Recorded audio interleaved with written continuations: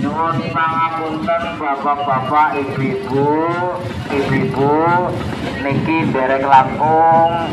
Nyuwun pangapunten untuk sarombongan. Niki damel gaduh damel mboten nyaman panjenengan sedaya. Kula atas nami panitia yang memintakan maaf yang sebesar-besarnya.